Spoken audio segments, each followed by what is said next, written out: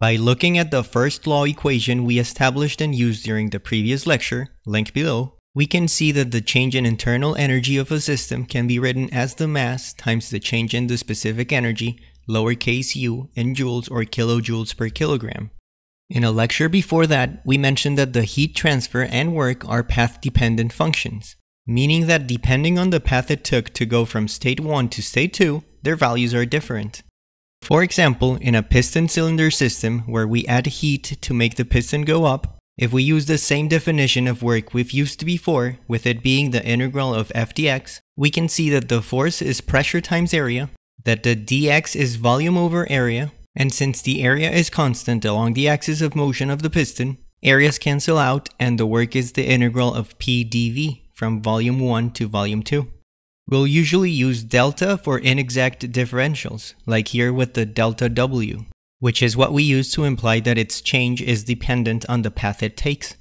If we have a pressure volume diagram for any given process, where we have states 1 and 2, we see from our integral definition that the area under this curve is the amount of work needed to go from 1 to 2.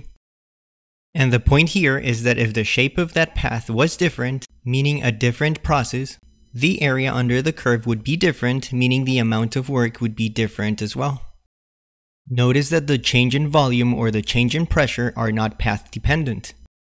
The change in volume, for example, is the integral of dV from 1 to 2 meaning that the change of volume for process A is the same as the change of volume for process B. This is why we use dV instead of delta V. Going back to types of work, a piston is of course not the only option for a thermodynamics example. We can have a paddle wheel, like we've shown before, where work goes in, heat goes out, and the internal energy changes. A turbine, where mass flows in, mass flows out, and work is produced, while the internal energy changes again.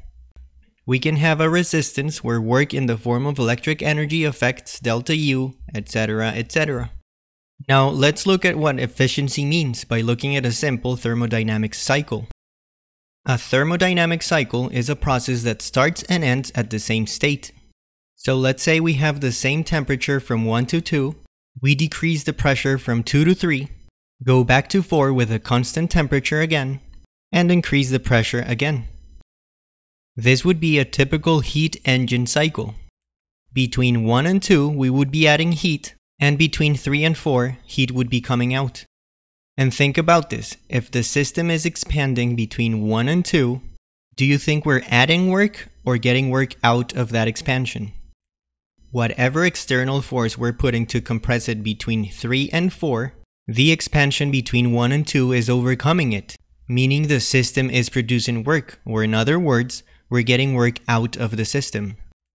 And of course, if in this case expansion means work out, then compression means work in.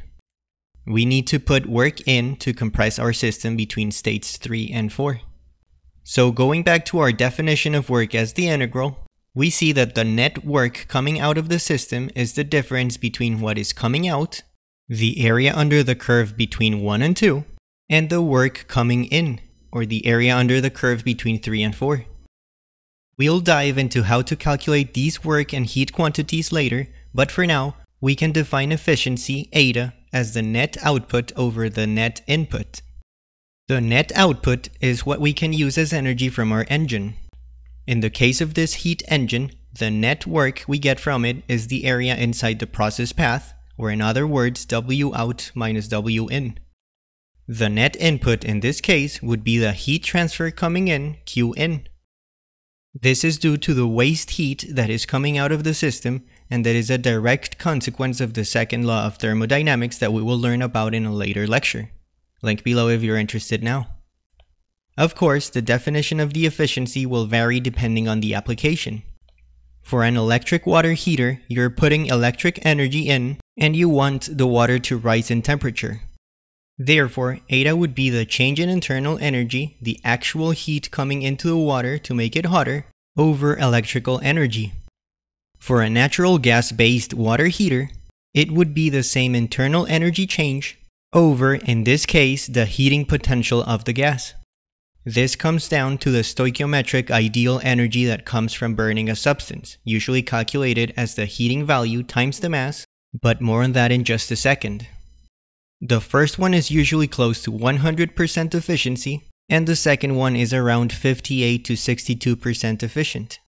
So why would the natural gas be overall more cost effective? Well, when you're using electricity for your water heater, you're paying for the cost of electricity that was produced by burning coal or gas and then transported into your home. So even though that last step of getting hot water, which is converting the electricity to heat, is almost 100% efficient, you would have to account for that 30 to 50% efficiency of the power plant producing the electricity with, for example, the heat engines we mentioned earlier. Getting your gas and burning it directly to get heat out of it is much more cost effective. Let's use this as an example for studying and calculating efficiencies. We'll use this example to go over some additional concepts, so this time you don't need to stop here and try to solve the problem yourself before going over the solution. You can check other more complex examples linked in the description below where you should indeed try to solve before watching the solution.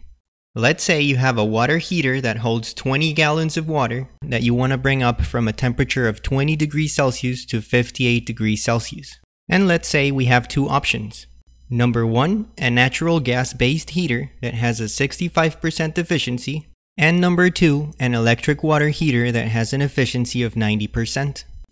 Of course, that energy is coming from a power plant that has its own efficiency for transforming heat into electricity that operates on the basis of combusting natural gas with a higher efficiency of 80%, higher compared to our gas based water heater at home.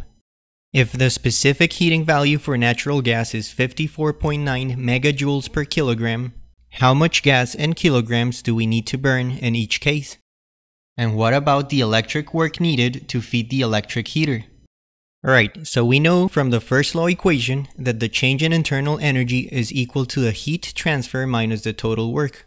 In the case of the gas heater, and with our control volume being the water reservoir, we only have heat coming in from the burning of the gas, no work. For the control volume of the heater, we have that the heating value of the gas itself, which is the specific heat value times the mass of gas, times the efficiency of the gas burner unit, is equal to the heat coming out. This means that it's also equal to the change in internal energy of the water. This we kind of already knew from what was previously mentioned, that for a gas heater, its efficiency was heat transfer divided by the total heating value. Now for the electric heater, we could split the entire process into three control volumes before reaching the water reservoir. The heat transferred out of the burner is equal to HV times the efficiency, no work. The electric energy or work coming out of the power plant is its efficiency times the heat coming in from the burner and the heat coming out of the electric heater is its efficiency times that electric work coming in. Notice that if we substitute work from the second equation and heat out from the first equation, we have that the total heating value times the three efficiency values is equal to the heat transfer into the water. And remember that heat in or heat out are the magnitude of heat values. The signs only come into play when adding them to the energy conservation equation. This basically means that the overall efficiency is the multiplication of the efficiencies, and that's totally expected. If we substitute etas for what they stand for in each case, electric work and burner heat cancel out.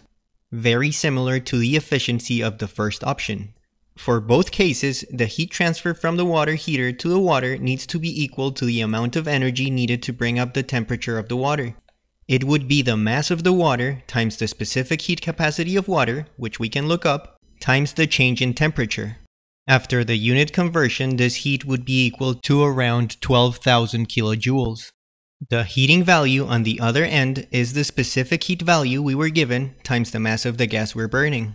With this, we can solve for the mass of gas for each type of water heater. Notice that we would be burning a lot more gas if we use an electric water heater despite the water heater itself being more efficient. Now, what about the amount of work coming into the electric water heater? Well, this is just the electric energy or the work provided by the electricity. Mathematically, we can solve for W from our equations, which matches what we know conceptually. We know W comes in and a percentage of it comes out as heat, which needs to be enough to heat the water. Done. If you want to check out the other more complex examples on the topics we covered here today, they are linked in the description of this video. You'll find the links to the other lectures of thermodynamics and other engineering courses as well. Thanks for watching.